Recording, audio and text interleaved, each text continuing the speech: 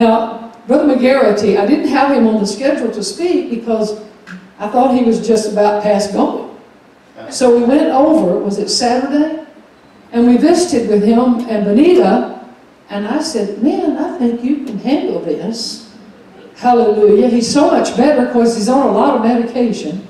And just keep him in prayer over this medication. Now, you will get your, don't talk yet. Give me a minute. Well, I'll give you mine. Oh, you can't get it on? I'll, I'll get it for you. Or you can use mine. We'll just let you use mine. How that be? Well, maybe you're set up for this one. Hallelujah. Anyway, so I said, well, I'm going to put you Sunday night after our son uh, sings and his group, and you can exhort us, preach to us, and he's got family here. His uh, sister over here, Barbara, LaDonna called me, his other sister, and then she got sick today. Carla had gone up north for a day or two. She come home sick. She was going to be here too. But they'll all be here. Pray for Carla that she's not getting sick with a cold. She said, I don't know if it's allergies or a cold. And so pray about that. The girls will be here next Sunday night, and I will be preaching. There ain't nobody going to preach the last message in this house but me. Hallelujah. So I hope you can come back every night. We've got exciting things. Brother Thurber will be here tomorrow night. Tuesday night, Brother Webb over here will be preaching. Wednesday night will be our bro own Brother Ray Valentine. Thursday night will be uh, Brother Je uh, Gene Jeffrey. And then Friday night will be Brother uh, Doug Young. And so we're looking forward to a great week. Different ones are going to be doing some of the music and the worship leading. But Brother McGarity was my assistant until he got so short of breath and going through so much stuff. You know what amazes me about this man, as many miracles as he's had in his body, and the things that God has brought him through, that we can't see God just go ahead and finish the whole work and raise him up and let him keep on preaching. But he still preaches. You just get around him. You'll hear him. It's my joy tonight to have Brother McGarity to come. And uh, I don't know how much he'll be able to do because he does get uh, out of breath a little bit. But I know God's going to help him. Yeah, he, he's got his help with him so he can breathe well. So you come on up, Brother McGarity. Let's welcome Brother Bill McGarity.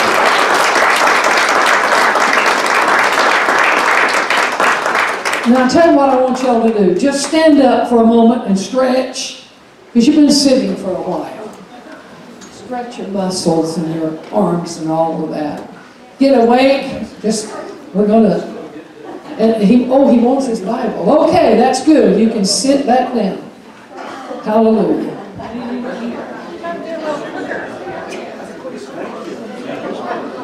All right, y'all can sit down.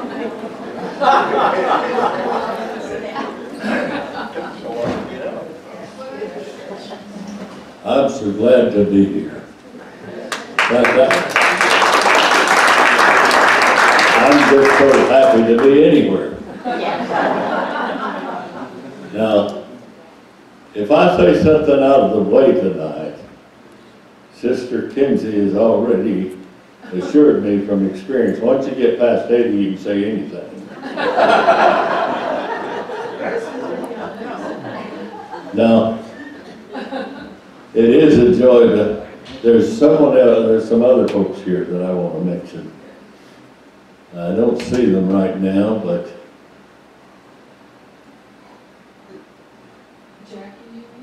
yeah, they didn't, my niece didn't make it. She said she was gonna make it. Is Jackie here? And Brad, oh, they're hiding back there. Amen. Now, someone else that I don't see, I pastored them when all I could do was exhort.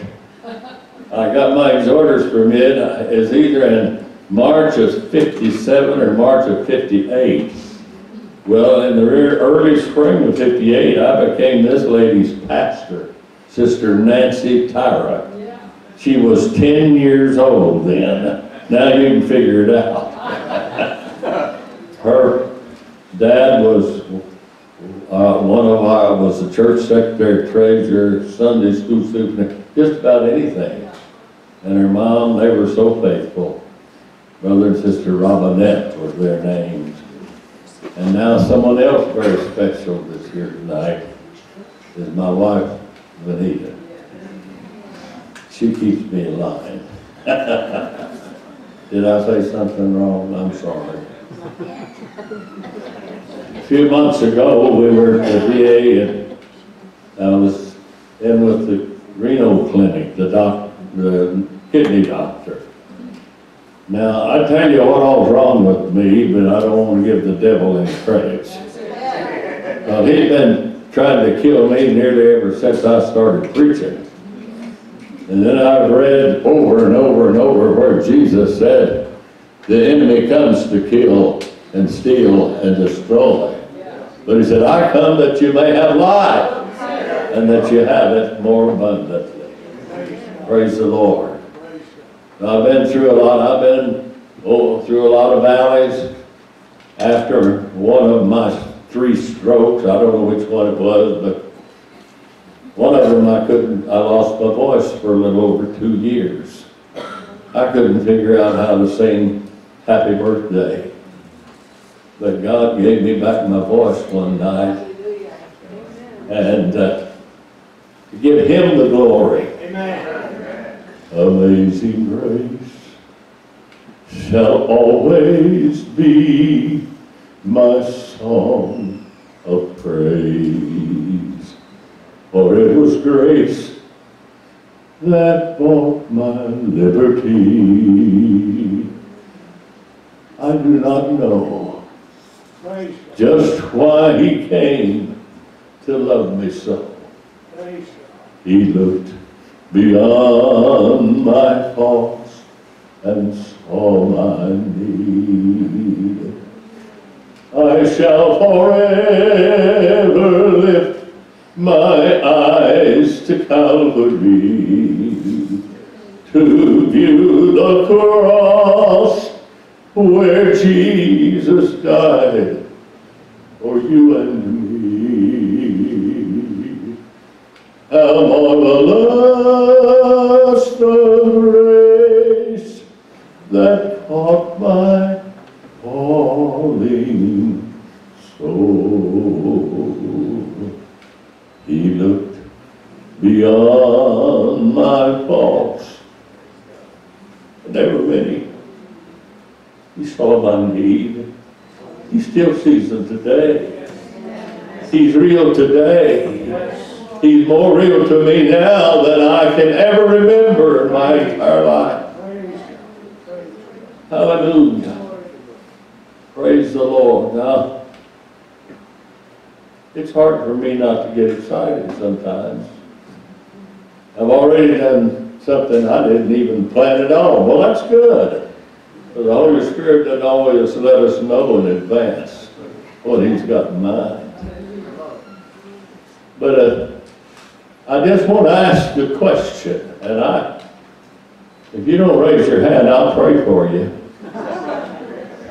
How many of you have ever felt like that you just couldn't do anything? You just felt like sometimes when you did do something that no one noticed. Tell you something. That's happened to me a lot. But I'll tell you something else. I know in whom I believe. And I know that he is able to keep that which I have committed unto him against that day. Another thing that I know is that sometimes no one will recognize what we've done. But there's someone else that knows exactly what you've done. He's got a record of it. And you know, when we stand before the Lord, He's not going to call this congregation together and have some kind of a meeting to look at my record. Thank God. It's going to be just me and God. Just me and God.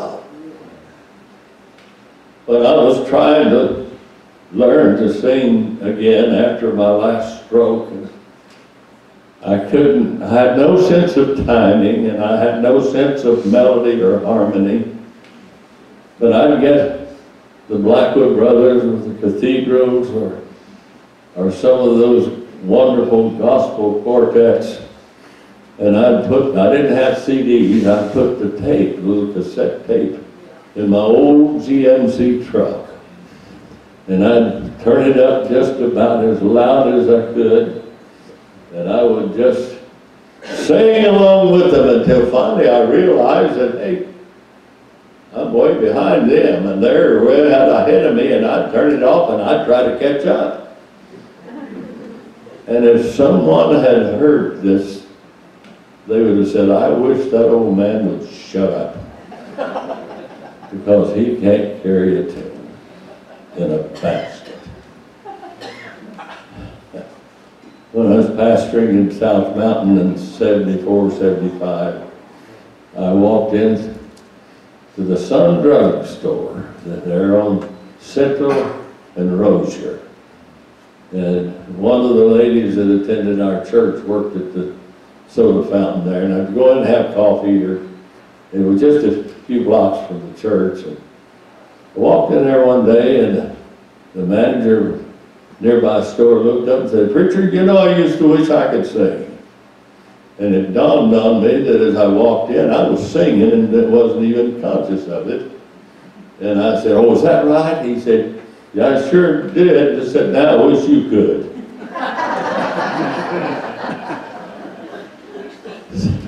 So I'm glad you didn't announce I was going to preach tonight.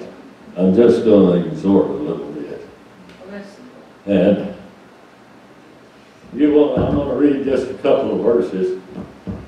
And if you have your Bibles, turn with me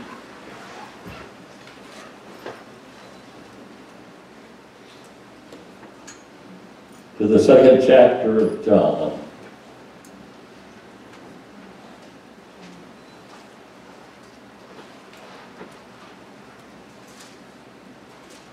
Let's start with the first verse. And the third day there was a marriage in Cana of Galilee. And the mother of Jesus was there. And both Jesus was called and his disciples to the marriage. They were invited, they attended. And when they wanted wine, the mother of Jesus said unto him, They have no wine. Don't have any wine. And Jesus said unto her, Woman, what have I to do with thee? Mine hour is not yet come. Some of these things I just don't quite comprehend or understand. I'll confess to you that I don't.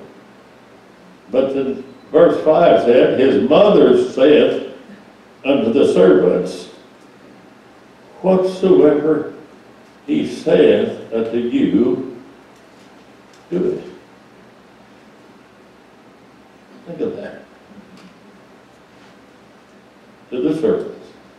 I'm sure there was some of those servants that, well, what are we going to serve water for? They may have questioned that, I don't know. But we know the rest of the story, don't we? Jesus turned the water into wine. Hallelujah. Now there's another verse or two that I want to read over a little later. How many of you ever heard of Saul of Tarsus? He was kind of a rascal, wasn't he? He helped the coat of those that stoned Stephen to death. And he had a warrant in his pocket going to Damascus, planning to arrest all of the Christians and probably try to get them put to death. And here he says, I'll have to find it. I'm over 80.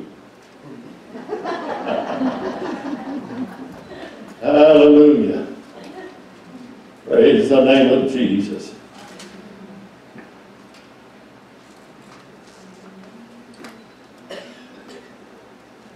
Here it is, the last verse. I forgot that it was the last verse. Sometimes I forget what I'm supposed to remember.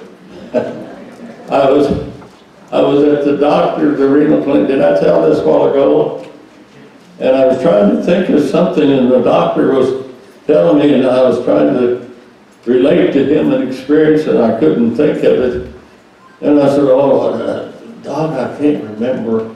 Uh, I guess I'll just have to get me some of that estrogen and take it.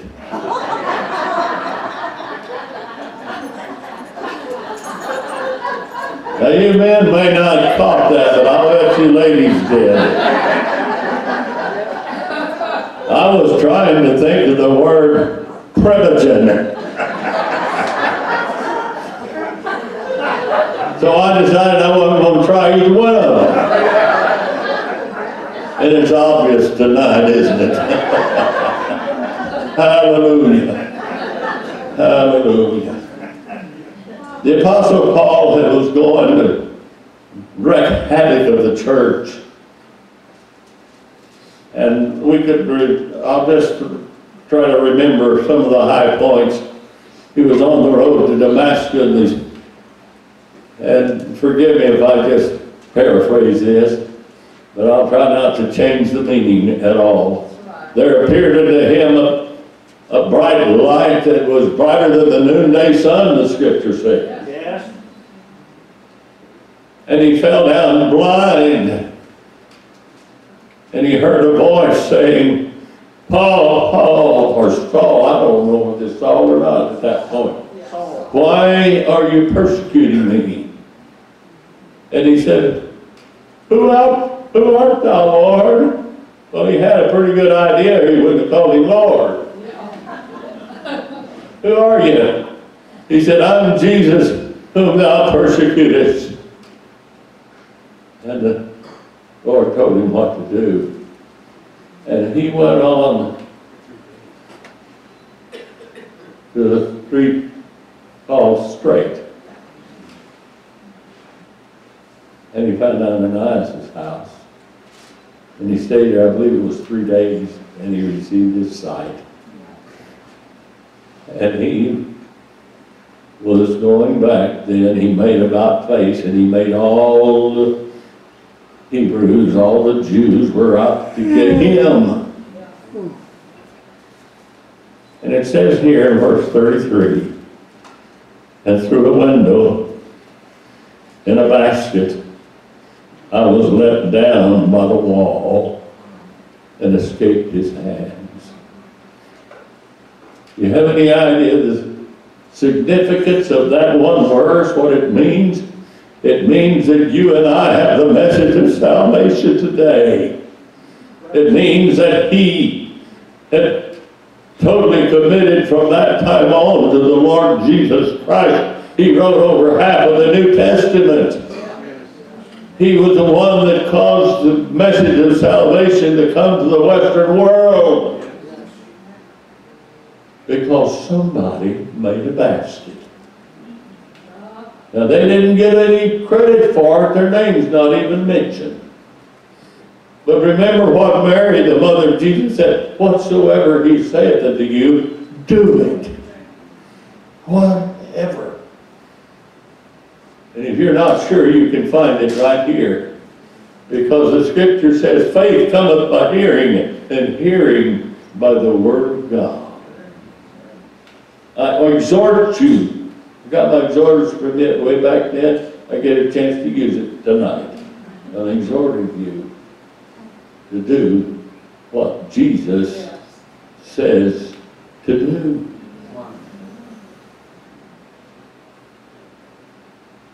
What Mary, the mother of Jesus, said to do, rather. But she was saying, whatever he said, and you do it. Now, somebody made a rope. Their name's not mentioned, they didn't get credit for it. Somebody straightens up these seats. Somebody comes down and turns the lights and makes sure the picture's right. I could name them, but I'm not going to. Most of you know. Somebody comes forward and receives the offering and they go back and they tabulate it correctly for the records. They don't, they don't get much credit for it, but they are asked to pray over the offering every once in a while. You might be tempted to think, I'm no good. I- I- Even if I am, they won't even mention me. They didn't mention the one that made the basket either. But I'll tell you, someone that knows, and that's God. God knows who weaved that basket by name. He knows who made that rope. And the ones that helped the rope, their names are not mentioned here either. Think of it. Maybe you won't get any credit for the Clint for playing the organ. Whatever you can do, do it. We're coming, as Sister Kimzey said, into a transition time in our experiences of local fellowship of believers. Some of you have to figure out where to go to church on Sunday night if you can find a place. Or where to go on Thursday night or Wednesday night. But I exhort you, don't forsake the assembling of yourself together, as some do. And even so much more as we see that day approaching. I exhort you and covet you to pray for my deliverance from this chair, from this art, oxygen. But I'm 80 to almost 83 years old, and if the Lord takes me home tonight, I'm ready. I said, if the Lord takes me home tonight, I'm ready. And it'll be a promotion. Hallelujah. Brother Doug, it'll be a promotion. Brother Ray, it'll be a promotion. Everyone, else, it'll be a promotion if you know Jesus. And I exhort you, if you don't know him, whatever he saith unto you, do it. Do it. God bless you. I love every one of you. Praise